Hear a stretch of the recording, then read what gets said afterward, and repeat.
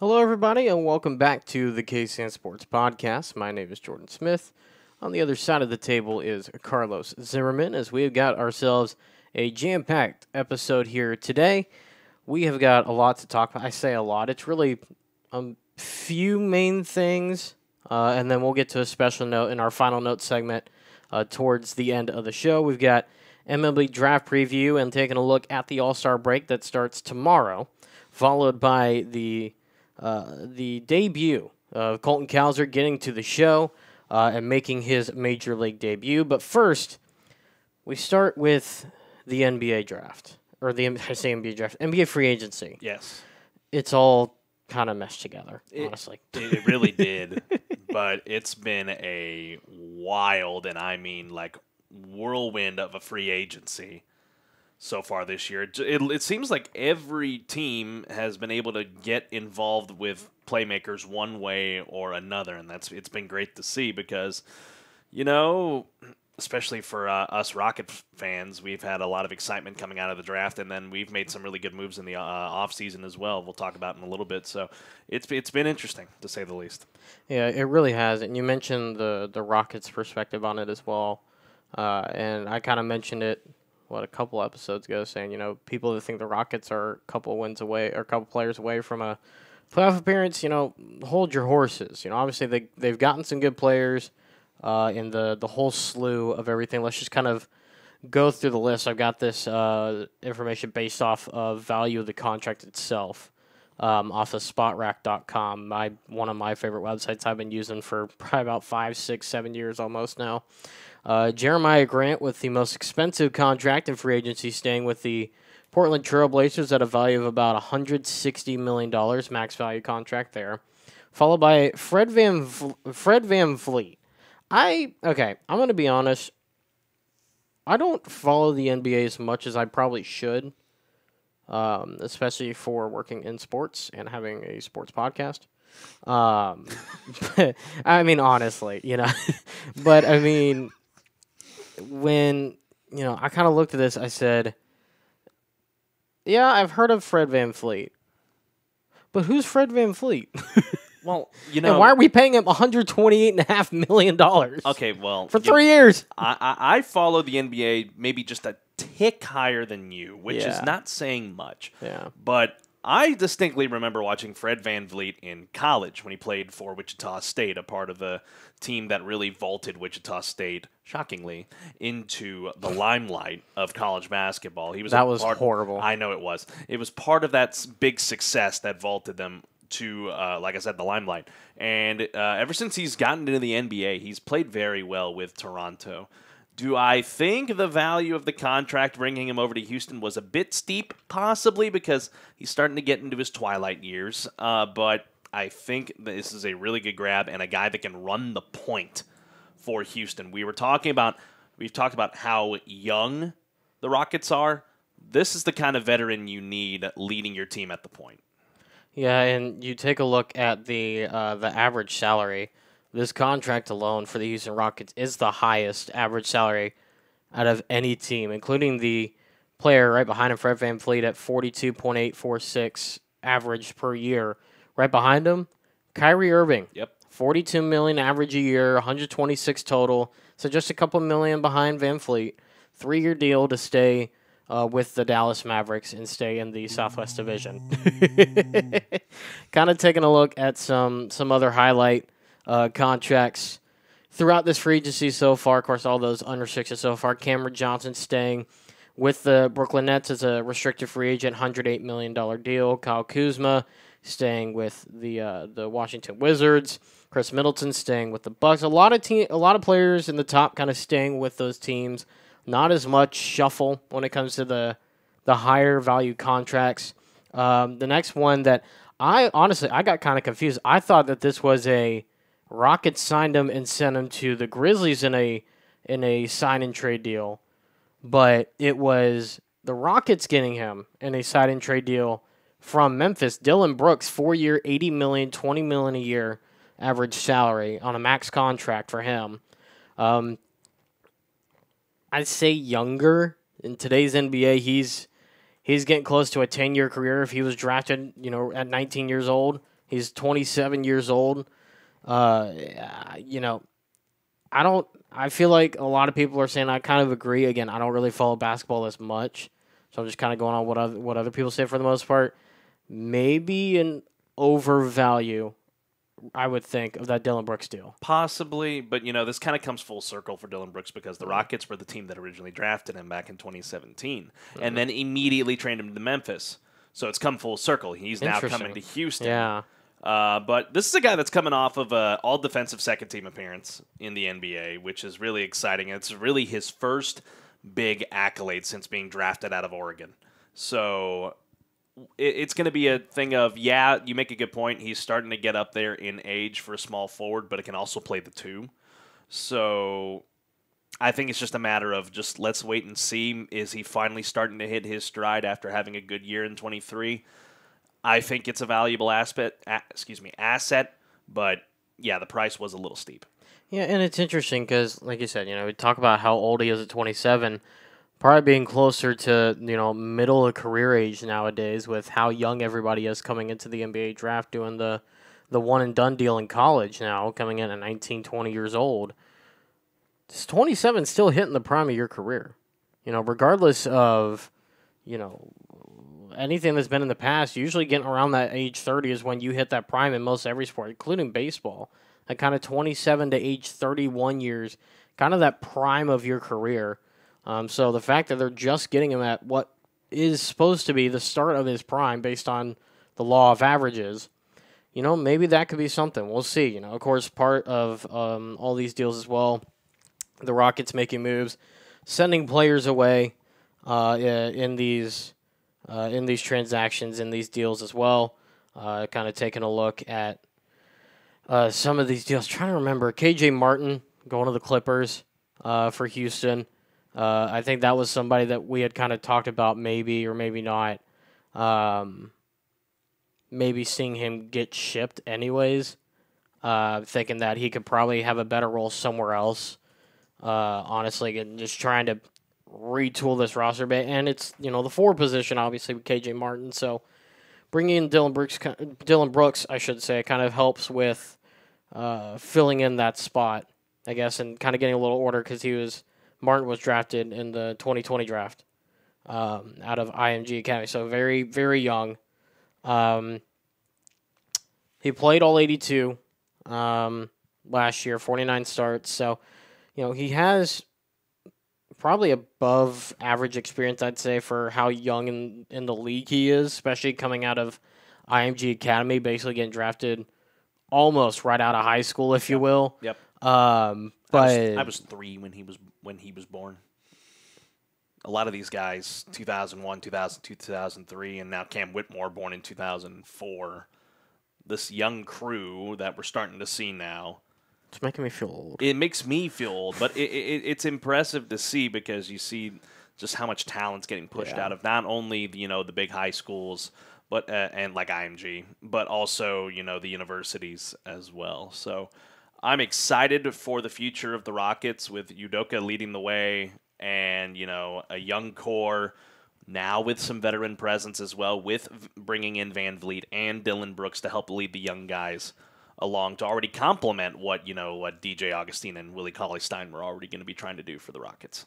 I still feel like DJ Augustin. He's either going to be that veteran guy that stays for a minimum contract the entire season and then retires, or he's going to get put in a trade piece. I feel. I really feel You like know, you know what I think DJ Augustin is. He is to the Rockets what Jeff Garcia was to the Texans. he was just there. Maybe He was there, so he didn't get fined. Exactly. so He came out of retirement to do that, I know he did. and he actually played. Did he play it down? yeah. Well, because I know Jake. Delhomme remember, did. T.J. Yates got hurt, Right. and so Jeff Garcia had to come in, and there was no backup for him. That's right. Yeah, it was like the last game or two of the season. We're getting off track. NFL, NFL talks coming up later, but Taking a look at some of the other deals, um, Caris LeVert staying with Cleveland, thirty-two million for two years. it's years. a good grab for them. Joe Ingles, uh, thirty-five, almost thirty-six now, going from Milwaukee to Orlando, two-year, twenty-two million dollar deal. Nice contract for a thirty-six-year-old, pretty much. Dennis Schroeder, just about to turn thirty. Schroeder. Schroeder, yeah. Point I, being, am nitpicky about that. yeah, yeah. And I'm the one who took German in high school That- and in college. Yeah. that's that's like me like uh, like mispronouncing like I'm trying to find a I took Spanish all the way through high school and, and, and college and there's not a single Hispanic. You're doing great. That's like me pr- mispronouncing Lopez. Robin Lopes or something like that. Anyway, continue. Schroeder going from the Lakers to the Raptors, two year, $25.5 million deal. Um, D'Angelo Russell staying with the Lakers, $37 million deal for a couple years. Brook Lopez staying with the Bucks, $48 million deal. Uh, Austin Reaves, $56.25 million deal for what, a couple seasons, or four seasons, I should say. Reggie Jackson staying with the Nuggets, 10 and a half, or 10.25 million for a couple of years. So, really, a lot of the big money grabs are really in that first probably 10 15 players on the list after that you you kind of start to really kind of hunker down to probably hovering around 10 million or less a year 10 11 million or less uh, i mean even another player you got seth curry going to the mavericks from the nets two year 9.2 million dollar deal um, and even i just saw his name uh, russell westbrook two year deal to stay with the Clippers. Heading into his what will be his age 35 season, $7.8 million deal. Kevin Love about to be 35, staying with the Heat, two years, 7.6 million. Eric Gordon going to the Suns, which I thought was a good move for them, getting that veteran presence, two years, six and a half million. And Derrick Rose, literally on the same exact dollar value, two years, six and a half million dollar deal from the Knicks to the Grizzlies, and then Jeff Green, one year, $6 million deal from the Nuggets to the Rockets to kind of highlight um, most of the free agent deals uh, in this this free agency. And you know, there's still you know some notable names that are still out there on the market right now. They're going to be looking to sign somewhere. Christian Wood is someone that comes to mind, um, according to this list. Um, Kelly Oubre out of Charlotte, uh, Ish Smith from Denver, Justice Winslow. Man, I loved him in college. Out of Portland right now. Uh, PJ Washington. He's a he's an he's an RFA out of Charlotte. Uh, here's an old name, Bismack Biyombo, uh, out of Phoenix. Or how about this? Udonis Haslem Hmm. out of Miami. One of the last big n- nuggets from the golden days of Miami. So Udonis. Udonis I'm going to be Haslem. picky about that. Udonis Haslem, whatever. and then there's, you know, other big names, Blake Griffin, Andre Iguodala, Yeah. and such. So uh, one of my favorites, Matthew Dellavedova. So lots of guys that, that could still go out there and get be, get picked up by somebody or resign. So Now let's kind of look at the other side of free agency because obviously free agency is getting players signed to contracts, but there's a whole nother part of that spectrum that allows teams to get extra space and cap room and so on to go and sign some of these players or to build uh, capital to potentially get draft picks, which is what some of these moves are for some of these teams. And I feel like some of this is also the kind of maybe the same way for the Rockets as well if they do try to go after James Harden. Let's look at the trade market. What's happened with that so far? I already mentioned Kenyon Martin going to the Clippers from the Rockets in exchange for two future first round picks. Uh, the latest deal to happen was a three team trade between the Dallas Mavericks, Boston Celtics, and San Antonio Spurs. The Mavericks get Grant Williams and two second round picks from San Antonio. The Boston Celtics get two second round picks from Dallas. The Spurs get Reggie Bullock and a 2023 swap rights with uh, the Dallas Mavericks. The Spurs do. Um, and then some more uh, trades going on. Uh, the Jazz sending over Damian Jones to the Cleveland Cavaliers. Uh, Indiana Pacers getting Obi Toppin from the Knicks for two future second round picks.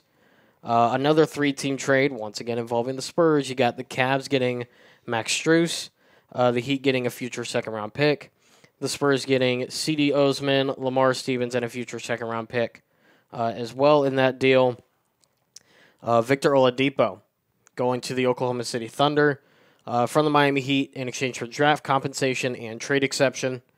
Uh, Monte Morris goes to the Pistons for a second round pick and a trade exception from the Washington Wizards, or that's what they get at least. So you kind of see a lot of this is kind of exchanging draft picks Uh, not too many high profile names, I would say. It's just kind of more trading for depth uh, and building up the bench a bit and kind of getting draft capital.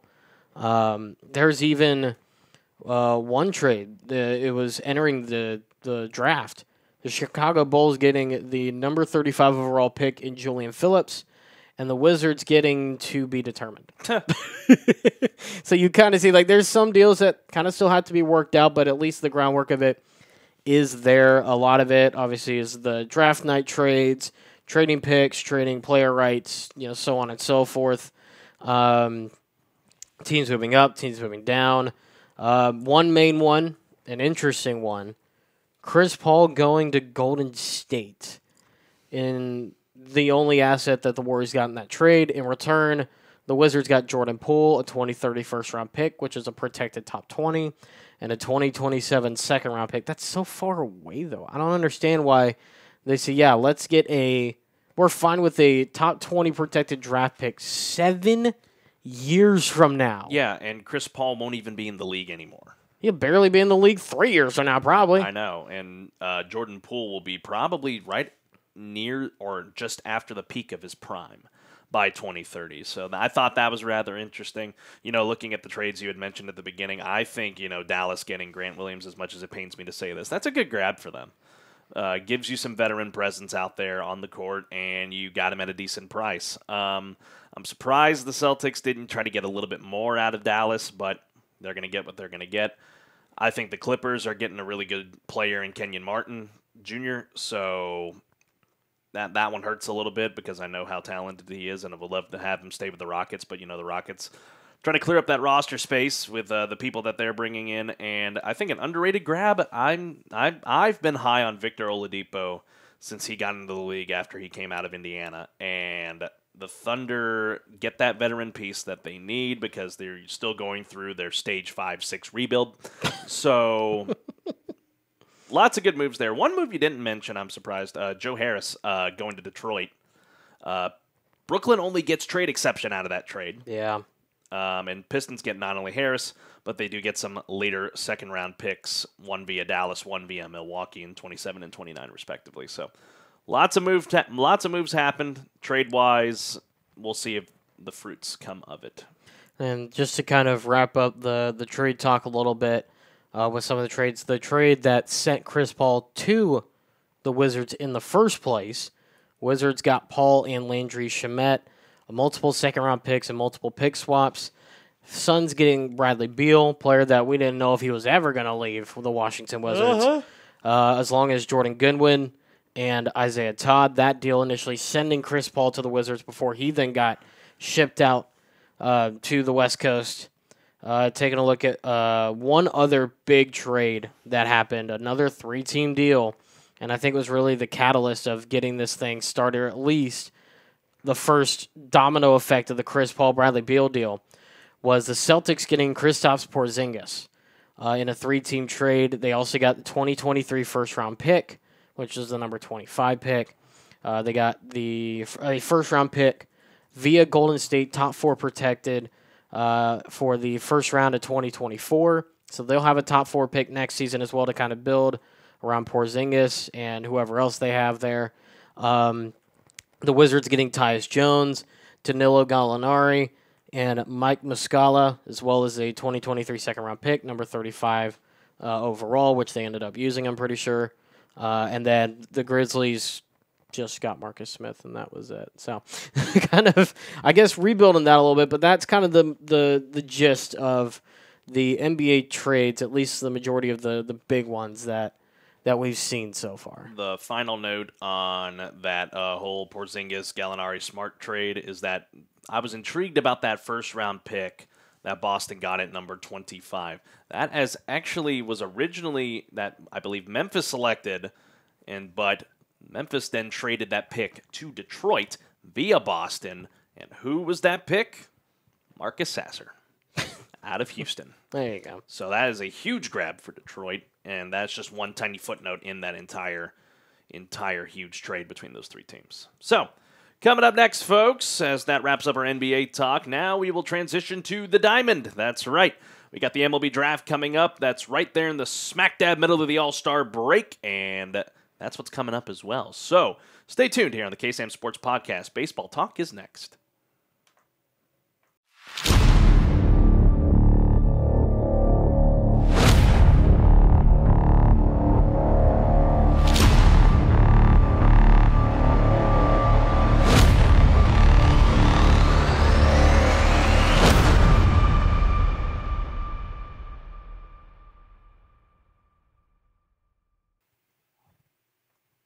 And welcome back, ladies and gentlemen, here on the KSAM Sports Podcast. I'm Carlos Zimmerman. Alongside of me is Jordan Smith. Just talked about the NBA free agency and everything that came out of that. And now it's time to shift to our probably our favorite sport, the diamond sports. And it is baseball that we will talk about as Major League Baseball is just beyond the halfway point. We are knocking on the door of the MLB draft, the future of the major leagues getting ready to be revealed, as well as the All Star break festivities coming up here in just a few days. Talking about the draft, though, it's going to be very exciting. And there's been a lot of talk about is there a consensus number one pick? And oddly enough, the two favorites are from the same school. Uh, the current and reigning, defending, undisputed NCAA champion LSU Tigers. I wasn't gonna yell into the mic and do that. I'm not. no, gonna, I'm I not was Gonna, I was hoping you didn't say the actual company no, because then we'd have to pay royalty. no, I, would, I wasn't No, I gonna don't do think that. I'd I have to pay wasn't gonna do that. I, I wasn't gonna go full Paul Heyman there. um, plus, we're in a small room, but yes, Ladies and gentlemen, nope, don't go there. so it is down between Uh. Paul Skenes yeah, the incredible starting pitcher for the Tigers, and his teammate, outfielder Dylan Crews. Early on in the year, everyone thought, oh, it's Dylan Crews. Thousand percent. He's the num he is going to be the number one pick. And then Skenes does what he does down the stretch of the season, really through the whole season, especially during the College World Series as well, to vault him to the number one spot. Are they are, are they going to have Skenes go first overall? That is the big question. Does Pittsburgh go that way? And I'm going to take the stance that Pittsburgh does go that way, given that they have already drafted position players over the last two drafts. Now's the time to go get their ace of the future. yeah. And for me, the thing is too, and we've talked about this with our group of friends before. Um, the the thing you want to do in this situation, if you're Pittsburgh, because like you said, you've got you've got your prospects up in the majors right now, with I believe still one or two maybe in the pipeline as your your main prospects before you have your basically your full roster to compete with. Right now is a situation where, you know, with this building process for Pittsburgh, you go and get pitchers, uh, and that's that's why I say Paul Skenes is it should be the number one pick for the Pittsburgh Pirates in this draft because as one of our friends said, it's very, very hard to come by a, a pitcher of that caliber uh, at the top uh, when it comes to the draft. You know, there there's been top rated pitchers, obviously. Uh, the Astros have had a few that haven't panned out, but having a player like yeah, that was the one in my head. Um, but but he finally made it to the majors. He, Uh, he got with the Phillies. Good for him. But um, but the main thing is that for Pittsburgh, if you're in a situation where you want to, you know, you're gonna go get guys in free agency now to kind of fill that spot until you got your prospects come out. It's kind of like what the what the Astros did.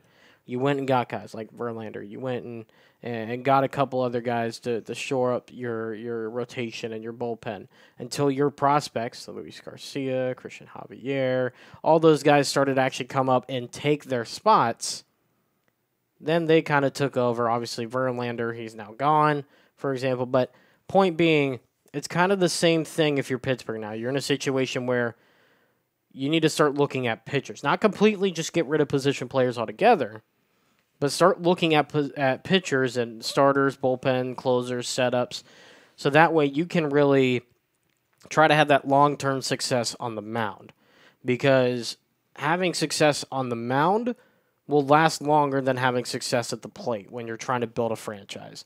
So getting pitchers like Paul Skenes, that'll help a lot when it comes to the long term success. Now, how quickly is he going to make an impact? Obviously, we don't know. You know, there's been players who have had a very short ride uh, in the minor leagues. There's players who've had a very long ride in the minor leagues, and both both sides have turned out fine in some cases. Um, but you know, who knows? If they get him, I'm sure at some point he will make an impact at the MLB level, and he will do some kind of good for the Pittsburgh Pirates should they actually take him at number one. Now, there's the other side of that coin too. You go with Dylan Crews, who is presumptively is. I mean, Wyatt Langford from Florida would try to give him a run for his money, but let's be honest, Dylan Crews is the consensus best position player available in this Yeah. draft. And uh, let's say Pittsburgh does take Skenes number one, then Crews falls right into the lap of the Washington Nationals, a team that has had to go through. They're kind of going through the Kansas City Royals treatment right now mm-hmm. because they win a World Series, but they haven't done anything since. Right. So that would be a key piece for the Nationals. And, you know, if they, you know, raise him through the minor leagues right, he could find himself on a major league roster, I would say no later than 2026. So I'm. I'm intrigued. It, it really depends on his development uh, in, in once he transitions now from the college level to the minor leagues. I mean, I'm I'm fairly certain this is how it's going to go. Skenes goes number one to Pittsburgh. Crews goes number two to Washington, and Langford will go to Detroit. You know, and I kind of, uh, you talking about Crews a little bit, I don't want to put that pressure, you know, start putting that label out right now because obviously he hasn't even been drafted to a Major League Baseball team. We don't know if he'll end up being a number two or if he may end up getting the switcheroo and going to Detroit. But Dylan Crews is a guy, especially for that national outfield, where you could replicate as much as possible of what you had in Juan Soto before you obviously had to ship him off because he didn't want to play for you anymore. Um, that that's a player in Dylan Crews that could have a very, very good and a very, very long career uh, in baseball. Like you said, as long as he's developed the right way. But he's a guy who could not put out the same production as Juan Soto because there's not a lot of people who can do that at all. Only a few. Basically, you'd have to go Shohei Ohtani, uh, who plays both sides of the field in Uh-huh. order to to find somebody who Two ways. to find somebody who who produces better than Juan Soto. Or maybe a couple other players. That's about it. At least when Soto's actually being consistent. But Dylan Crews is that guy that could really turn into your star of your franchise and could really lead kind of a, a, a new um, a new era, a new age, I guess, of Washington Nationals baseball. But you know, kind of looking at the three through five, I feel like those honestly are interchangeable. All outfielders, you know, all Detroit, Texas, Minnesota, they could all use uh, a little bit of outfield help. Probably not too much, but again, this is something that's going to be a will it pan out or not in two, three years from now. So it's hard to kind of judge, but you know, based off the need right now, yeah, any one of those they could all switch around. The thing with Langford and why he's probably more of a stable pick out of those three is because of the fact that he's 21. You know, you've got you know Walker Jen- Jenkins and Max Clark coming out of high school at 18. Yeah, they're good, obviously. Otherwise, they wouldn't be in the draft coming out of high school. Just graduating and getting their high school diploma two months ago. But at the same time, you know, it, it, it's hard to to I guess have a more stable look and kind of consensus on 18 year olds than it is 20, 21 year olds who have gone through the whole stable of college pretty much 21, 22, 23 year olds, whatever, and say, oh, yeah, we can, we've seen through the upper level competition what he can do. We've got no idea how they're going to do a rookie ball as far as the 18 year olds go. So that's why I feel Langford's a safer pick just because of age and experience wise.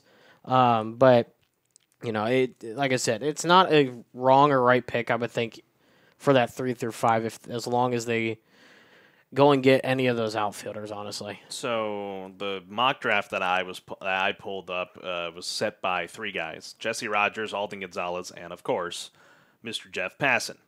So this was their uh, three through five. Uh, Wyatt Langford goes at number three to Detroit. Number four picked to Texas. They picked uh, Gonzalez. He picked Kyle Teel, a catcher from Virginia. And then Rogers picked this the ace from Wake Forest, Rhett Lowder, at number five to go to Minnesota, which, to be honest, wouldn't be a terrible move for me because when you look at the Minnesota Twins right now in terms of their starting rotation, obviously this is lucrative because he's not going to go to the majors right away, but eventually you look at it. Their current rotation right now is Sonny Gray, Pablo Lopez, Kenta Maeda, Bailey Ober, and Joe Ryan. What my point is trying to make there is it's an old rotation. I see nothing wrong. no, no, that's just the toxic. Now, if this is 2017, I'm excited. No, no, no. It, But- it makes sense. It, it makes sense. That pick, the Rangers pick as well, because you look at the depth chart for the Rangers right now. Yeah, you only have you know two catchers, obviously at the major league level, as most teams do. But Jonah Heim and Mitch Garver, they're not bad. They're they're not great. Jonah Heim, obviously, the better player. That's why he's a starter. But I don't see them being your guys in five years. And that's the thing. I think, like you said, getting that catcher uh, in Kyle Teel and letting him develop for a few years, I think would be a smart pick uh, for the Rangers to try to just get a young guy, especially with some of the younger arms that are now starting to really populate the bullpen and starting to populate that that rotation uh, and getting a couple more prospects up from the minor leagues for the AL West division leaders at the moment. Um, but yeah, I don't I don't think two would be a bad move for, for the Rangers. And then like you said, getting that extra arms for, for the Twins and, and Lowder wouldn't be bad either. So and then kind of skimming my way down through here up to around the top 10 and uh, the one that they picked at number 8 is very intriguing to me because i actually got to see him play this year uh, the guy they have at number 6 passing he went with max clark which is an outfielder from uh, franklin community high school in indiana he would go uh, number 6 to oakland soon to be las vegas number 7 would be walker jenkins out of uh, south brunswick north carolina he best would team in baseball at the moment. he would go to Cincinnati. Indeed, I'm, I'm on board. The one that intrigued me at number eight was the one that Rogers went with. Is a shortstop that would go to Kansas City if it were to pan out that way. Jacob Wilson from the Grand Canyon Lopes. Hmm. I got to see him play, obviously, Right. at the WAC tournament. right. And well, just just to toot the horn of the Bearcats, they shut him down. Right. He only went one for five in that twenty-two to eight monstrosity of a ball game. Which one? the, the one Sam Houston played against Grand Yeah, Canyon. I, I, yeah, there was a lot of runs scored. there, there those were a lot of runs. That I think that that was the catalyst that started the uh, the the whole mess that Sam Houston went through. Either way, Yeah. he went one for five in that game against Sam Houston, but an incredible shortstop uh, in his own right, and he can hit very well. The Bearcats just got the best of him that day. I'm intrigued to see if he gets his way into the top ten or if he falls out of it, and if and if he does fall out of it. If I'm around 11 and 12, the Angels, Diamondbacks, Cubs, I'm chomping at the bit to go after him because, man, can he play? I mean, why not? There's no reason you don't. I mean, plus, out of those three teams, who's the one that probably needs the help the most right now? I'd say Chicago. Yeah, that's what I was thinking. Chicago, then LA, and then obviously the Diamondbacks are leading the West right now, so they don't need too much help. So they're not really going to go try to take that risk unless they want to just boost what they already have. But you look at the Cubs and the Angels, if neither one of them take them, then you got a guy who's starting to fall quite a bit. Yeah. You might see the Red Sox grab him, but other than that, he's going to start falling. Well, and he, here's the other thing too. If the Royals don't take him at eight, I mean, it could he could fall into the lap of the Rockies or the Marlins at nine and ten. My thing is, are the Rockies gonna want to lean that way? Because to me, they haven't had a solid shortstop since Trevor Story, and before that, Tulowitzki. So that would be a good grab for them in the grand scheme of things. The Marlins already kind of have a firmed up uh, middle part of the infield. So I don't think he goes there. So it's either Kansas City, Colorado, or he's falling out of the top 10. Yeah, and and the other thing is too with with the Rockies, I feel like with the way things are going with that franchise, like you said, not having you know a solidified guy since Trevor Story and the Tulowitzki era. Can I, as can I give a visual of uh, what the Rockies have been like uh, since 2007? go for it? 2017. That's about right. yeah. Yeah, that's about right. Um, but yeah, I mean, if I'm the Rockies at this point, if I'm ever getting a shortstop, I'm just signing a guy. Mhm. They obviously you've seen it has not worked, and if you're trying to play winning baseball in Colorado, you may as well just sign somebody. It's kind of the same way with starting pitching up there. No matter who you have, it's never going to work because of the elevation. Because a fly ball could turn into a 500 foot homer just because you blink, you know, and any wind that carries it makes it 525 all, only because of the thin air of the elevation mm-hmm. up there in the Rockies. So it's it's just I don't know. It's a situation where yeah, you it would be interesting to see if you fell out of the top 10. I don't necessarily think it'll happen. But yeah, if he doesn't get picked at number 8, I'd be kind of surprised if the Rockies got him and I'd be very surprised if Miami got him. Otherwise, I would think like you said he would follow the top 10. So now that we've talked about you know that top ten look, I want to dive down to the Astros pick at twenty eight. The mock draft that ESPN rolled out with um, Gonzalez says the Astros are going to take an outfielder from Virginia, Jake Jaloff or Giloff. I don't remember how to pronounce it, but Jalo, I think. I, think, it's Jaloff. But he was once a highly, and I mean highly touted prospect, especially going into this year and last year. And he came back to Virginia.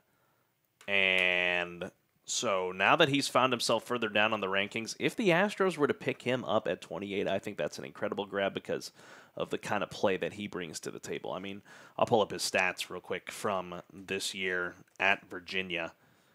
Well, that was already. I was beating you to it. You were one step ahead of me, probably. Yep. Taking a look at you know his numbers, uh, 81 hits on the season through 65 games played, a 321 average, 329 career average in three years at Virginia, uh, and OPS over a thousand, sitting right about quick math here. It looks like about a 111.37. So not not a bad OPS. Um, to make sure that's right here, like a 710 on base or 710 slugging, and a yeah 427 on base percentage. Yeah, about 1137 uh, for his OPS. Uh, 23 home runs, career high at Virginia for a single season. 90 RBIs, 48 walks. Um, so not a not a bad year. Looking at his numbers overall, 189 hits and 161 games played, so averaging over a hit a game, seven triples, 48 homers. It's basically almost getting half of his homers in one season. So yeah, a very good player who started to really develop in his own as he got more and more playing time and more and more responsibilities.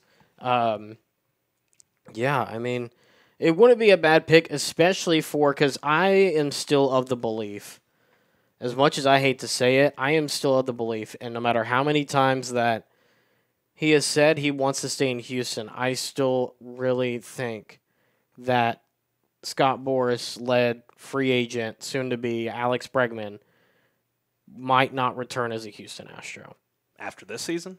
whenever his contract's up. Okay. So I, I for whatever reason I just I have that it's not it's not a it's not a strong feeling, but it is a feeling that in my in my bad knee, my right knee, eh, kind of both of them are bad, but in my right knee I got that bad slight feeling that he might not return to the Astros because the amount of money he might demand because of Scott Boras being his agent may or may not work for what Jim Crane's want to spend. Now I say that Jose Altuve's agent is Scott Boras, so it's null and void in that situation. But I feel like, obviously, as we all know, Alex Bregman is more likely to leave than Jose Altuve. Jose situation. Altuve is never leaving the Exactly the point I'm making.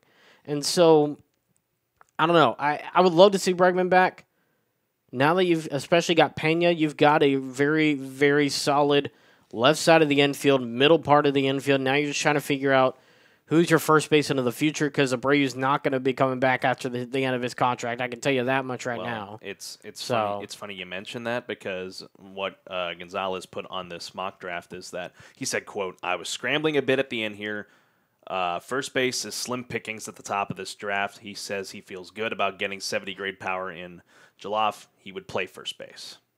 Yeah, and, and that would be a good move as well. The Astros basically had his secondary at first base. That'd work too. It would, Now, it would help fix that situation. This is going to take a couple of years, obviously, for him to develop in the minors because, uh, as we'll talk about in our final note, you know, it took Colton Cowser two years to get up to the uh, to the to the major leagues. But and granted, that still felt fast. I know it, it did feel really fast. Early on, we thought 2024. Nope, fast track to 2023. So I didn't think it was going to be until September call up this year. So, you know, you never know with the sport of baseball. So we'll see how all of that pans out. It's going to be an exciting draft. Draft night, I believe, starts on Sunday. Yes. Did I say that right? Yes. Yes. Sunday rolls through Tuesday. They obviously got a million other rounds that they're not going to televise because the MLB draft is one of the biggest drafts, if not the biggest draft. 27? 20. 20. They shortened it up to 20. That's right, because it was like 50 something before, Yeah, it? and I don't know why they did that. Yeah. But so that'll be intriguing to see how that all pans out Sunday. I'm sure you can watch it on the MLB network. All right. All start break talk. One of my favorite times of the year because there's no stupid little cookie cutter rules about the All Star game anymore when it turns into the World Series. Uh, but first, I want to lo- talk about the uh, Home Run Derby. And here is the field for said Home Run Derby. An interesting field this year. Luis Robert Jr. will face Adley Rutschman. Pete Alonso, Big Meat Pete, will face the sophomore sensation Julio Rodriguez. Mookie Betts will go up against Vladimir Guerrero Jr. and Adolis Garcia will go up against Randy Arozarena. Where's Yordan? Where Your, your guess is as good as mine. did he not hit a walk-off home run against the Mariners in the DS? Did he not hit the game-winning home run in the World Series? Where's Yordan Alvarez, one of the best power hitters in baseball? You should know at this point that Major League Yeah. Baseball hates the Astros. yes, I, I realize that. I realize Have you that. looked at the roster that we'll talk about in a minute here of Astros that made the All Star game? What was it? Nine. Th- a couple years ago, we had nine Yeah, on the roster, and then we have three this year, and it was almost only two, if not Mike Trout getting his annual injury of the year. So, which we'll talk about here in a little bit. So, yeah, like I said, Robert against Rutschman. See, Rutschman was was interesting as to why he was selected. not really. He's only got 11 home runs this year. Right, but he's a catcher. I know. That's what you have to remember. That's a lot for a catcher. I, I know that's a lot. and for a he's catcher. 20, only 25 years old. That's like if Brad. He was a rookie like last if, year. That's like if Brad Ausmus hit 11 home runs by the All Star break. So Right, that's the thing. So he's having a great year. And again, you have to remember, he made his debut last year. Mhm. He was a 2019 draft ra- draft pick, number one pick in the draft by the Orioles, Mm-hmm. to go along with the bevy of young guys they now have at the major league level. And him, Gunnar Henderson. Now you got Colton Cowser. You got a few other guys as well to go with Bautista, with Cedric Mullins. A very, very dangerous roster out there in the East. But point being, yeah, this is a great season power wise for Rutschman so far. So I'm not as surprised that you see that. I'm just surprised at how much power he has for how little experience he has. Just over what a year what was that? 13 and a half months of major league experience, and he's in the home run derby. some interesting notes about Rutschman. He is a switch hitter. No switch hitter has ever won the home run derby outright. Uh, Ruben Sierra shared the derby crown back in 1989 with Eric Davis. Aside from that, Lance Berkman is the only other switch hitter to make a finals. That was in 2004 at the uh, last time the uh, Minute Maid Park hosted an All Star game and home run derby. And probably the last time for a very long Yeah, time. unfortunately. Uh, but Rutschman, being a catcher, no catcher's ever won the Derby before, but he now joins the likes of Salvador Perez, Gary Sanchez, somehow, uh, Joe Mauer, and Pudge Rodriguez of guys that made the home run derby. Why do you think Gary Sanchez made it? I can tell you why. Because he, he well, Because he wore the pinstripes at that time. That's right. um, Pete Alonso going up against Julio Rodriguez. Alonso That's gonna be fun. at 25 home runs.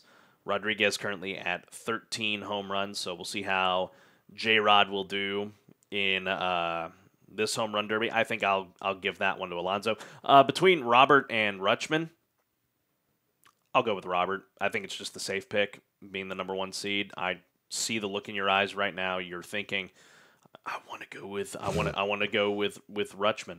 No. Let, let's look at Luis Roberts' numbers for a second here, because obviously there's a reason why he's the number one pick, or the number one seed, I should say, uh, in all this. You take a look, he's, like you said, 25 home runs uh, on the season so far. He's got a slugging percentage of 580, which is tremendous. He's got an OPS plus. Don't understand the stat, but I'm going to say it like I know it of 147. So I at least I know that is way above average because I believe average is about 100. Yes. So having that is already tremendous in itself. Um, I mean, yeah, he has had a very good season so far. It's going to be a tough fight, like you said. No catcher has ever won the Derby, so it's already an uphill battle uh, for Adley Rutschman. But yeah, I think Robert may may take that, but I think Rutschman will still put on a good show. Yeah, uh, but I'll, I'll go with Robert for that pick. Um, and then, like I said, for the two and seven, I, I want to lean towards the young gun, but I think Pete Alonso just he, he's already a two time champion of the home run derby, so he's going to be gunning for three after winning in 19 and 21. Well, So one thing to note is that home runs will come at a premium, not just because it's the home run derby, but because you're in Seattle. yes, We have a prime example of that when the Astros go up there. Any with a team that's built basically on on a good amount of power hitters in the lineup, when they're all there and they're swinging, you average about three, four home runs a game, probably about ten a series when you go up to Seattle. So having a home run derby there, that thin air, yeah, that coastal one, yeah, it's gonna it's gonna be nice. It's gonna be a very nice home run derby. So if you got a glove, bring it. Well, here's the thing: are they going to have the roof open or not? It doesn't matter either way because the way that ballpark is built, even if it's closed, there's no windows. Mm. There's no windows on the outside wall that's adjacent to what was CenturyLink Field. There's no wall that sits behind the right side of the ballpark, right behind the stands. It's just open air. So even if the roof is closed, you still got wind coming in through those little slots and kind of creating a vortex, if you will, and a mm-hmm. weird, very weird configuration. So I would think they would have the roof open, honestly. Because, I mean, even in Houston, when they had it back in, what was that? You said 2004, roof was open. So I, I would think the roof would be open uh, in that situation. But yeah, I, I don't know. I I just I, there's gonna be a lot of home runs, and I think there's gonna be some home runs that may shock a few people.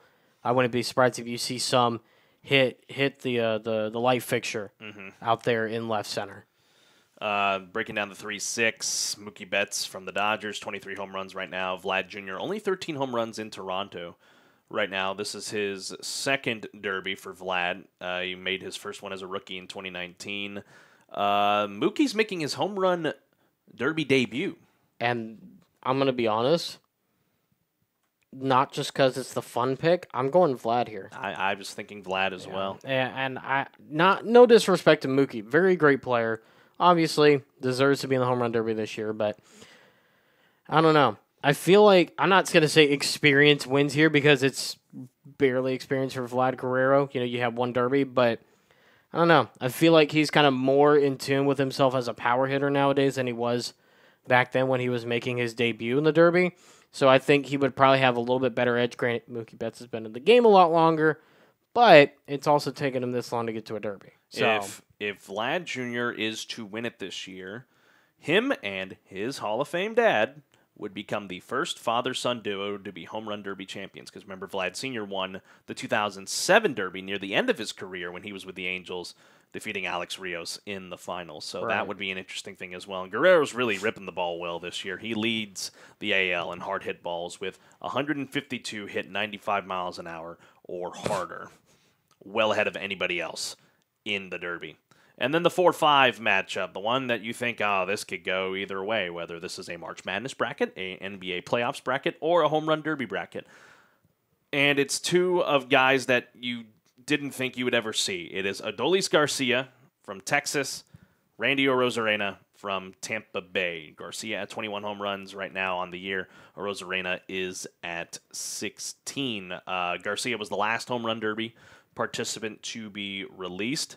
And it's been a long time since a Texas Ranger has won a home run derby. 30 years to be exact.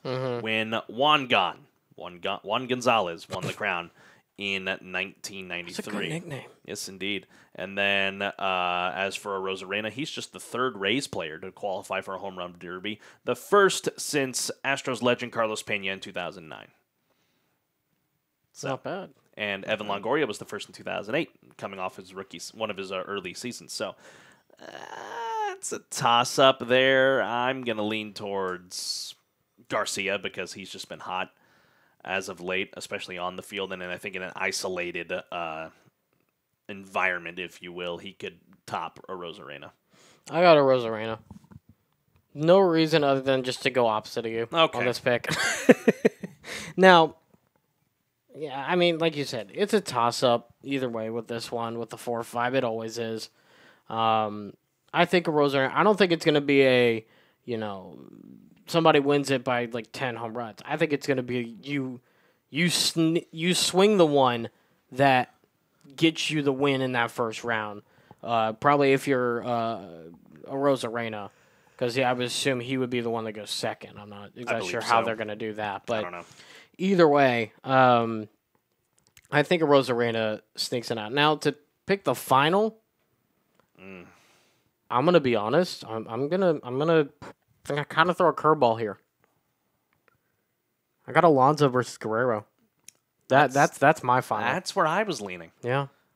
Uh, I, I think that would be a stellar home run derby final. You know, two young guys that are trying to just you know make their mark in major league history, and you know obviously there's nothing that really comes out of the home run derby other than uh, patting yourself on the back.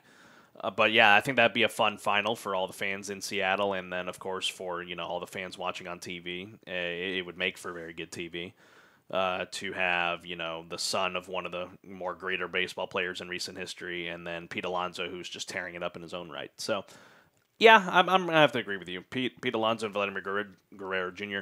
Dark horse for me, um, probably would have to be Julio Rodriguez if he is able to get past Pete Alonso. My dark horse is Arozarena. Mhm. I, I I think he could, because if I'm not mistaken, it's not it's not an eight four two. It's just an eight to two, right? For what? The home run derby, they just go from eight players to two, right? Or is it no, eight four no, two? No, it's like eight- a bracket. it- it's a bracket. yeah, Eight, then. I, I think Arozarena could could sneak in there and make a little noise in that first round. Like I said, win that first round and kind of push the limit there on a, on a second round matchup. Mm-hmm. Um, that I don't know if he'll get past there. Like I said, I feel like it's going to be between Vlad and and Alonso in the final. Um, but uh, that's just kind of my thinking. That watch, watch Arozarena in this derby. He may he may surprise a couple of people. So So it'll be interesting to see home run derby coming up. Uh, this is gonna make me sound bad on Monday, Monday night, eight Eastern on ESPN. Then of course the All Star game is coming up very soon, Tuesday, July the 11th on FOX Fox. Looking at briefly, just checking a look at the rosters here. The looking at the American League side, the elected starters. A lot of Rangers in that lineup. mm-hmm. Jonah Heim behind the plate. Marcus Semien playing over at second. Josh Jung at third. Corey Seager, the big offseason acquisition for Texas at short. Over at first from Tampa Bay, Yandy Diaz over at uh, was originally going to be in the outfield. Mike Trout, but now with his um, hamate, is think that's how you say it. That's what he injured. It, it's something on his hand that got injured, so he's not playing. Randy Arozarena is the only outfielder that was elected to be a starter that is going to be playing in that game because Aaron Judge on the other side he has elected not to play in the game. So Don't understand that. I don't understand that either. And then of course the designated hitter for the AL, the greatest is- player in baseball today. yes, Mr. Shohei Ohtani. Hey! And then looking at your reserves, Please tell me he's going to start he he will. as a pitcher. And he, Well, Please, he's, let it happen. He's there as a pitcher too, so we'll see. Looking at the reserves, two catchers: Salvi Perez, R.I.P. because he's in Kansas City. Um, Adley Rutschman, of course, going to be elected to elected to his first All Star game. Vlad Jr., Whit Merrifield, because he still plays baseball. Bo Bichette, Jose Ramirez, Wander Franco. That's your infield. Wander Franco, a late ad from Tampa Bay. And then the outfield, Luis Robert, Austin Hays. Yordan Alvarez was selected but is not going to play. Adolis Garcia. Kyle Tucker was added because Trout got hurt. Uh, Julio Rodriguez, and then the backup DH is Brent Rooker from Oakland because you have to have a team, a member from Oakland for what whatever godforsaken reason. gotta have at least one from each team. Gotta have one from at least from each team. Pitchers: Shohei Ohtani, Gerrit Cole, Luis Castillo, Sonny Gray, Nathan Eovaldi. Another one from Texas, Kevin Gausman, Shane McClanahan was elected but will not play. Framber Valdez is there. Michael Lorenzen and George Kirby was added due to McClanahan's injury. And then your four relievers, Kenley Jansen from Boston. That's weird to say. Emmanuel Clase from Cleveland, Felix Bautista, and Yenier Kane, Can, Cano. Cano. Cano, sorry. Like From- Robinson. Cano. I, I know, from Baltimore. National League side. Their starters, catcher Sean Murphy out of Atlanta, Freddie Freebombs, first baseman from the Dodgers, Luis Arraez from Miami. My you wanted to say the Braves, didn't you? I almost Freeman. did. I almost did. oh, man, good old days. But Luis Arraez, my pick to win what what is it? The NL batting title. Uh, Nolan Arenado from St. Louis at third. Orlando Arcia from Atlanta at short. Ronald Acuna Jr. from Atlanta in the outfield, along with Mookie Betts and Corbin Carroll from Arizona. The DH, uh, former Astro JD Martinez. I think a lot of people forget He that an he was an Astro before he went off as a Boston Red Sox. and now with the Dodgers. Yeah. Uh, their reserves, two catchers, Will Smith and Elias Diaz from Colorado, Smith from the Dodgers. Their infield, Matt Olson, Ozzy Albies, and Austin Riley, all from Atlanta. Dansby Swanson, former Brave, now with the Chicago Cubs. And then, of course, Big Meat Pete and Pete Alonso. Uh, their outfielders, Lourdes Gurriel Jr., making the jump over to Arizona. Uh, Nick Castellanos in Philadelphia, the breaker of hearts and everywhere when it comes The to saver of a PR nightmare. uh huh. Uh, outfielder Juan Soto from San Diego, and the des- backup designated hitter is Jorge Soler from Miami. Pitchers Zach Gallen from Arizona, Spencer Strider, and Bryce Elder from Atlanta. I believe Elder's making his first appearance in the All Star game. Justin Steele, same thing for him from the Cubs. Mitch Keller from Pittsburgh, Josiah Gray from Washington. Clayton Kershaw was elected but will not play. Marcus Stroman from Chicago as well. And then the relievers, Alexis Diaz from Cincinnati, Josh Hader from the Padres. Would love to see him in an Astros uniform. Devin Williams from Milwaukee, Camilo Doval from San Francisco, and then David Bednar was added due to Kershaw's injury from Pittsburgh. Did you see what Bednar did uh, to Clayton Kershaw? I did not know. Okay, so obviously Bednar gets selected. Uh, the video goes online of the Pittsburgh Pirates of them telling Bednar in the locker room that he's getting selected to the All Star break. The only way you do it with David Bednar, you give him a 12 pack of a cold brew because it's David Bednar. Right. He then took a few of those from the 12 pack, put it in a cooler, gave it to Kershaw, left it in the dugout, and said, "Here you go, bud," and said, "Thanks for basically thanks, you know, for letting me get to the All Star game." So that's uh, he didn't say those exact words, but basically handed him a, a few cold ones saying thanks. So that's how Bednar celebrated, and then he probably drank the rest that same night. Uh, I'm sure he did. I'm certain he did. Ugh, I love Bednar. So that's a look at your All Star rosters. Obviously, for us Astros fans, we're only going to see maybe one make an appearance if Framber gets in. I don't know if Tucker's going to get a chance to get in.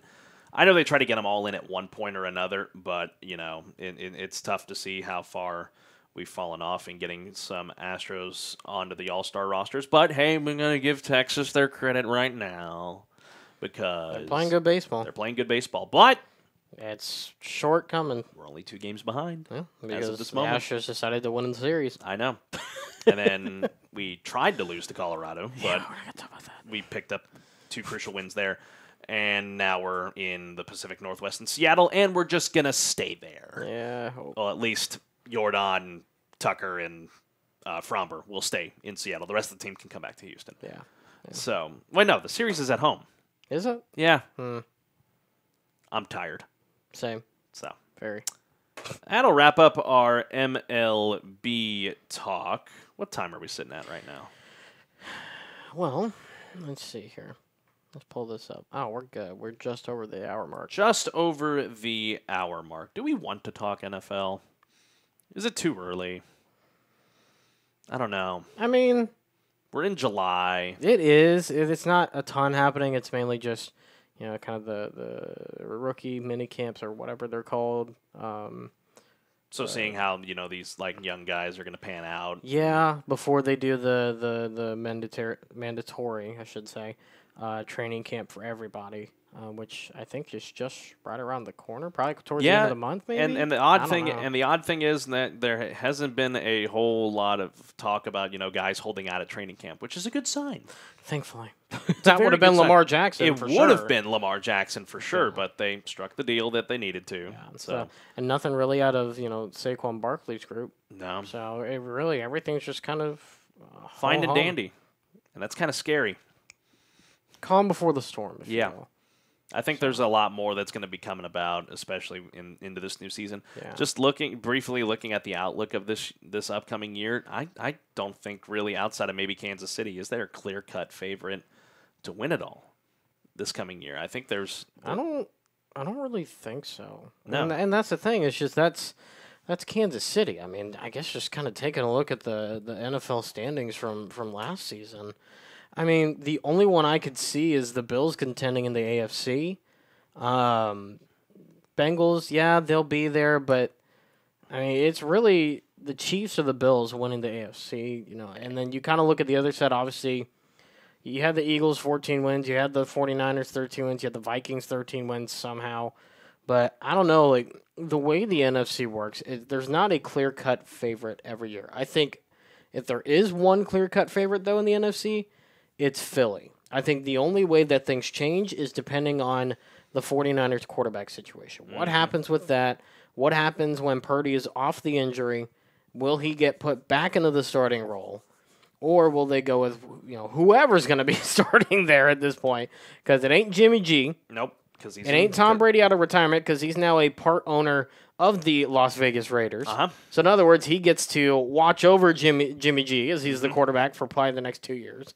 Um, so Or- it's basically Brock Purdy, or you hope the guy that's filling in until he gets back does well enough. It's it's the North Dakota State guy. Is it Lance? Yeah, it's Trey Lance. Huh. I guess they haven't gotten rid of him yet. No. so it's down to Oh Lord. you know, I can't say his nickname that people rolled out with, um, with Brock Purdy or the former Bison Trey Lance in San Francisco. Yeah. So we'll see there. I, I'm intrigued how you know, as a Texans fan, how the AFC South is going to pan out because you look at who's now the field general for all four of those teams. You look at the Texans, of course. You're likely going to be going C- C.J. Stroud. Maybe a veteran takes the start week one. I I, I don't know. it would be Davis Mills. It would be Davis Mills. So Because looking at the depth chart, your only other option is Case Keenum, and he's the third string QB at the moment. They're not expecting him to play. He was No, he- purposely signed to mentor. exactly. He's purposely signed for that, and he was perfectly fine with that. I'm excited for this Texans roster before we get back to the field generals to see Dameon Pierce mm-hmm. in this West Coast offense. Oh my God. We saw what, and we see all the time what running backs can do in the West Coast. We saw it with Arian Foster. It's not the same exact West Coast, but it's something, you know, kind of similar with a little bit of 49er mix into it. Uh, but Dameon Pierce in this offense, ooh, it's to be fun to watch. Absolutely. And you look at the other, you know, pieces that they brought in, like we, we've talked about just off the air before. There isn't really any, you know, sexy named wide receivers that we have out there. I mean, Amari Rodgers is good. John Metchie's good. Robert Woods for the uh, veteran presence. That's your number one. I mean, and then you have Nico Collins as well as an option. But I really think that this offense, this West Coast offense that they're going to be rolling out with now, is going to rely heavily on the running backs. And I'm excited for, and people, and Dallas fans were like, ah, you can have them. You can have them all you want. Yep. I think we got to steal in Dalton Schultz. Oh, absolutely. Because here's the thing we're in an offense that uses a tight end. yeah. We're going to have for the first time in what? Six, seven years, Since Fiedorowicz. a tight end who has more than four catches a season. Mm-hmm. It's going to be amazing. Not to mention, because of this offense, we basically have a fullback again, mm-hmm. a position that's basically died out. We've kind of revived it, Yeah. Thankfully. And then now, and now you also have an O line to protect whichever quarterback It's not a bad one either. that you have there. I mean, you got It's not great, but it's not terrible. I mean, you have some guys from the old days, Tytus Howard, uh, Laremy Tunsil, of course, the anchor of that of that Texans O line. But then you got Shaq Mason. You've got you know rookies like Juice Scruggs and Jarrett Patterson. You have um, Scott Quessenberry and Kenyon Green, Kenyon the Green, left left guard. Charlie Heck, who has had experience starting at tackle. So that's exciting to see. Same thing on the D line for the Texans. I think you're gonna. I mean, that that of course is gonna get whittled down, but obviously getting the big big grab of Will Anderson was huge. Bringing him in, My favorite part of the draft. Mm. really, I I- I think this is probably one of the more put together Texans teams that we have seen in a while. It, it, In probably ten years. Probably. Is it going to turn into a playoff team? I don't think. Not so. this year. Not this year. You But still need a lot of pieces. you get you get one year of this team, and you keep this core together.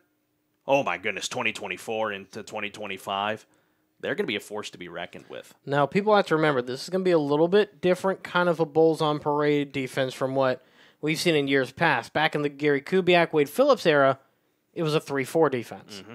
Now you've got a base 4 3 defense. You got the two D tackles, the two D ends, and then you've got the Will, Mike, and Sam linebackers sitting there in the middle part of that, that secondary line of defense before you even get to the secondary and get to the safeties and the corners and all that. So it's going to be a little bit different kind of feel. You're not going to have basically five guys on a line rushing all the, the linemen with two kind of quarterback spies in the middle. You're now basically going to have that four with maybe one QB spy, probably out of the Will and Christian Harris or in the Mike and Christian Kirksey. But really, it's gonna it's gonna be interesting. I think to see how this defense rolls around, especially with what I assume is going to be a heavy influence from DeMeco Ryans one of the better uh, defensive players during his time, especially in Texans history, and one of the best defensive coordinators in the league before getting the job as a head coach now with the Houston Texans. It's going to be interesting to see, especially early on in the season. First game of the season, Baltimore. So it's going to be very interesting to see how they put pressure early on, how they rush, how they blitz, how they also protect that middle part of the field because you blitz too much, that middle part of that, that linebacker spot's wide, Wide open. open. And you're going to have check down six, seven yard passes the entire game. And So it's going to be interesting to see how they mix that up. and Baltimore knows a lot of things about checkdowns, given Right. their history with Joe Flacco. Yeah. So that'll be intriguing to see. What I'm excited about most is that secondary. Mm-hmm. It is probably the most high-profile secondary that the Texans have had since Jonathan Joseph and Kareem Jackson were at the helm. And Danieal that- Manning. And Danieal Manning of that secondary. Desmond King on one side. In the safeties, you have Jimmie Ward at the free safety, and then you have Jalen Pitre at the strong safety, and then you have Derek Stingley on the other side. Holy cow! It's it's good. I don't think it's all the way there yet. I still think they need another corner, maybe another safety. But it is a very solid piece, at least a corner. I think they need before I can really say this is a solid solid unit. Cuz you have to remember there's going to be situations where they're going to go they're going to go three corner sets. And they're still going to have the two safeties. So that means you have to take out a, a linebacker. Then, then, know? then I would say you could probably go with Shaquill Griffin. I mean, yeah, it wouldn't be a bad option, but I don't know. I just I- I feel like they still need that one more. Not to necessarily replace the starters or not, but to have as a depth piece for when you have to go three corners or when you have to basically either go cover three, for example, or whatever. You still need. I still think they need that one more corner before I can really say this is a truly solidified ball hawk secondary. But it is still a good defensive secondary, and like you said, I'm excited to see uh, what they do. But you know, kind of going back to your field general point, you know, like you said, Trevor Lawrence, the the the, the lead dog, if you will, the, the AFC South champs, which is still weird to say. Yeah. Uh, then you've got obviously the Texans, like you said, CJ Stroud. Um, you got the Titans and whatever they're trying to do. but I Levis. yeah, I I don't know. I don't know if enough mayo is going to save his coffee or not. But and you got the Colts with uh, Anthony Richardson. yeah, I, I'm excited to see how that goes. I think it's going to be fun for about uh, one season, and then I I I want him to succeed. I don't want him to succeed against us, but I don't know. It's mean- it's really going to depend on how he develops against this defense and how quick he can adjust to reading defenses uh, on the fly and before the plays even happen and stuff. Because as everybody knows, he's the project guy. Anthony Richardson is that project guy. He had a very good combine that shot him up the draft board. Um, even at one point in in his uh, pro day, throwing a ball so high and so hard it hit the roof mm-hmm. of the practice facility in Florida. That's what really got teams to start kind of turning around on him a bit They were like, and boosting up his, his draft stock. But yeah, it's going to be interesting. Your your lead dogs in this division are Trevor Lawrence and probably C.J. Stroud if he can develop in this rookie season. But like you said, I would think, and at least the smart thing for me would be to throw out Davis Mills for a game, maybe two, kind of let CJ Stroud, uh, especially if it gets into a garbage time situation where you're down by a lot in those early games, let him go in the fourth quarter. Kind of let him kind of get a little rep, still have him get rest of the first team, but let the veteran get a couple starts, then throw in CJ so you're not feeding him against Lamar Jackson week one of the season. Well, you have to think that when you in, in our last touch here on the NFL before we go to our final note in the next set in our final segment, the probable starting quarterbacks in my mind, the only one that's going to be constant is that Trevor Lawrence is going to be starting for Jacksonville week Yeah. one. For the Texans, I think they're going to roll out Davis Mills for week one. It would be smart to. It would yes, it would be it would they, they would it would behoove them to do so. For Tennessee, remember you still got Ryan Tannehill, so Yeah, that's not saying much anymore. I know, but so you either go Ryan Tannehill or you go Malik Willis week mm-hmm. one, and I'm thinking they're going to go Tannehill with, without a doubt in my mind. For the Colts, it's interesting. I mean, you're kind of in a spot where you have to start Anthony Richardson. Mm, You have Gardner Minshew, who has NFL starter experience, or do you go Sam Ehlinger? No. as much as you know, as I've said before, and we know on this show, I'm a UT kid at heart because that's what I grew up with. That's what my grandfather went was in the marching band, whole nine yards. Right. I like Ehlinger. He was a decent quarterback at UT. I don't honestly know if he's an NFL quarterback. I'm gonna be. I I don't know. Yes, he had very good flashes um, uh, when he did make appearances. Uh, what last season? but I don't I don't know. I'm gonna be honest. I think really your only your only spot is going Anthony Richardson with one and having Gardner Minshew as a two to kind of help Richardson develop a bit as that starter, and then Ehlinger there is in, in case of injury. Yeah. That that's really how I kind of see that playing out. Like you said, the depth chart kind of sitting right now. I don't really think it's going to change from that, but I don't know. I, I that's kind of my thing. I don't think Anthony Richardson isn't the starter. I think he is starter week one. He so he would be the only rookie out of that bunch to start week one. I would think so. Like, granted, I feel like the Texans will probably still start C.J. Stroud since he is number one on the depth chart right now. Uh, obviously, being the number two pick in the draft. But if the Texans were smart about it, at least give him a couple games to sit on the bench and then wait. Kind of develop, learn the playbook a little bit, throw on the headset, and kind of hear, you know, audibles or kind of how things are kind of done so he can watch it and see it before he then starts to going. Because I said this before the draft if you were going to get a quarterback between Bryce Young and CJ Stroud, as much as I did not want the Texans to take a quarterback at all this season, I said if you are going to take one, you have to get CJ Stroud. Because for me, he has the higher upside when it comes to the draft. Now, I'm not saying Bryce Young isn't going to be a star in the league. He could very well be. I just don't know that it's going to translate with the Panthers. And that that's my main thing. And I don't that's know. the and that's the unfortunate for, thing for him as well. So it'll be interesting to see how it comes out. And as the weeks progress, ladies and gentlemen, we'll talk more about the NFL and what's going to be coming up for them. Eventually, we'll get to our season full season preview. We just wanted to give you just a tiny little tease today on our outlook for what is to come this NFL season. We'll step aside and take a break. Coming up next, our final segment, the final note. Colton Cowser, our Bearcat. He's in the show, and he made his debut last night for the Baltimore Orioles in a big win over those stinking Yankees. So that's coming up next in our final note on the KSAM Sports Podcast.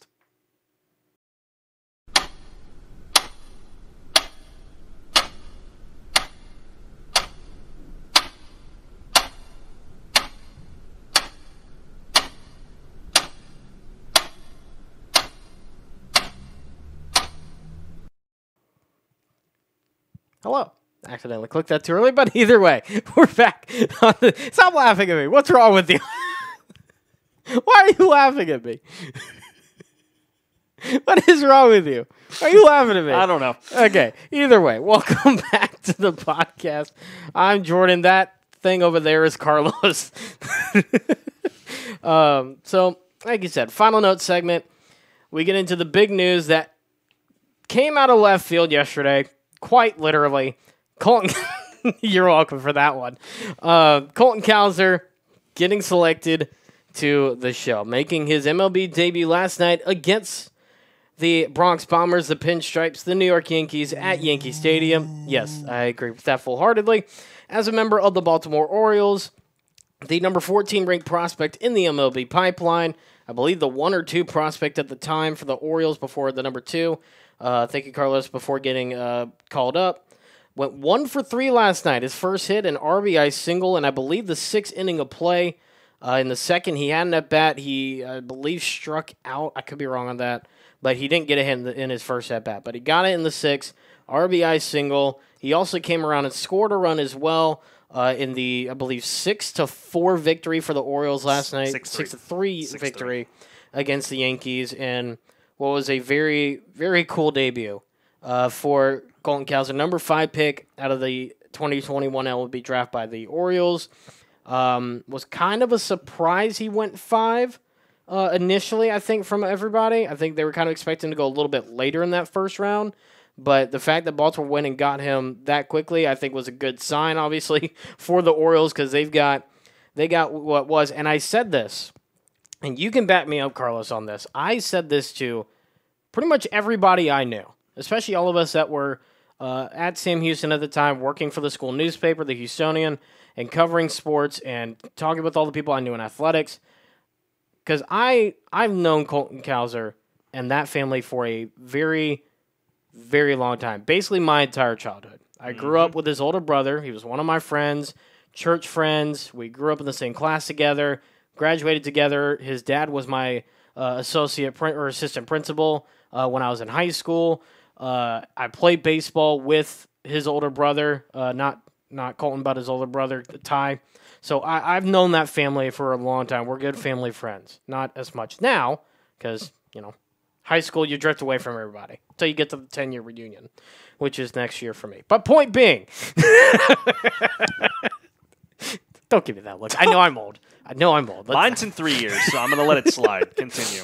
but i told everybody because i had covered some some of his high school it was more so his last season in high school before he made the jump to college and eventually got to sam houston i said watch this kid he's going to become the best hitter this program has ever seen.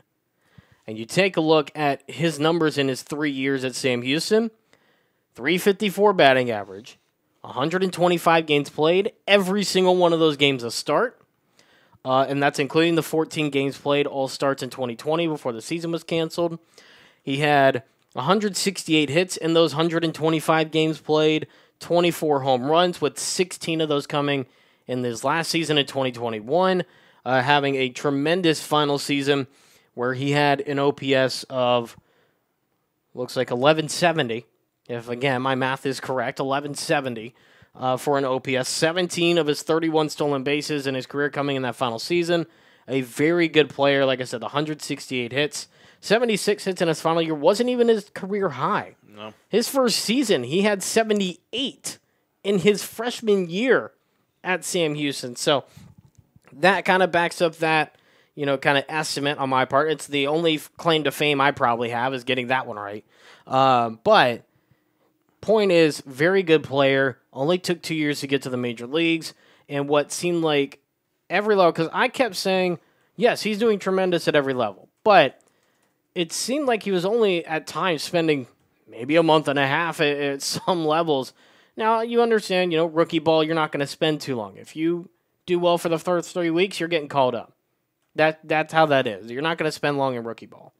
But after that, it seemed like they kind of fast tra- tracked him a little bit. But every time he moved up, he continued to hit around 350, 340, 330, and he wasn't really stopping or slowing down at all. He kind of destroyed every level of minor league baseball, and he very much earned his spot at the major leagues. And like I said, getting the RBI single, helping out with his first hit, and like I mentioned earlier, I honestly thought he wasn't going to be on an opening day roster until next year. I mm-hmm. thought he may have been a September call up this year, who may have in turn somehow qualified for a postseason spot. Because we all know at this point the Orioles are getting there. It's just a matter of where they're going to be. You know, at least in my estimate, it seems that way.